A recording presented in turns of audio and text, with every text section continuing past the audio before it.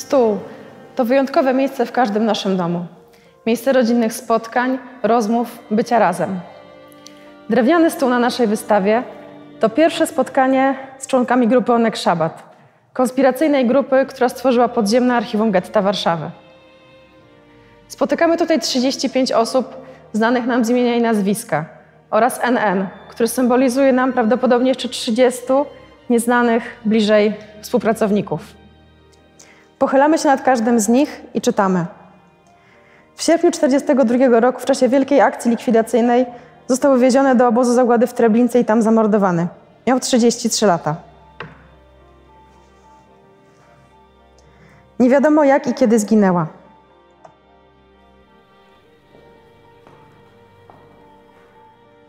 Zginął w czasie powstania w getcie warszawskim w kwietniu 1943 roku. Miał 43 lata.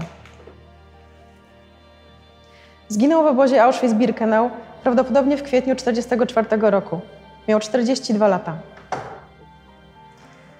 Miał 22 lata, kiedy 3 września 1942 roku został zamordowany na ulicy w getcie warszawskim.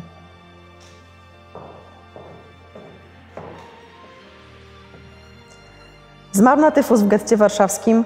Miał 53 lata. Wywieziono 11 października 1943 roku do obozu Auschwitz-Birkenau. Miał 55 lat.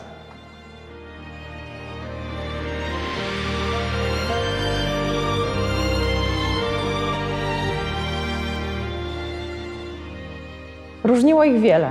Pochodzenie społeczne, stopień zamożności czy wykształcenia, sytuacja rodzinna, poglądy polityczne, stosunek do religii.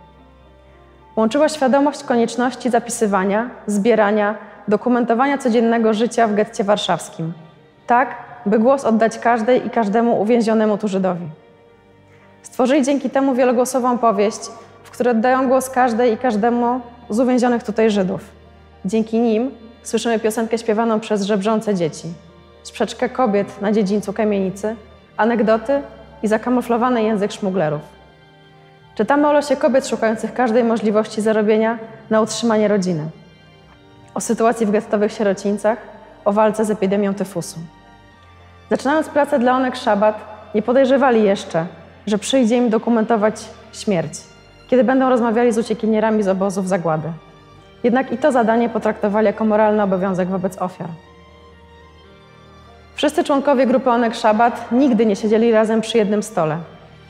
Kilkuosobowym gronie spotykali się tylko najbliżsi współpracownicy Emanuela Ringelbluma. Tylko troje z nich przeżyło. Drewniany stół jest zatem pierwszym symbolicznym spotkaniem konspiracyjnej grupy.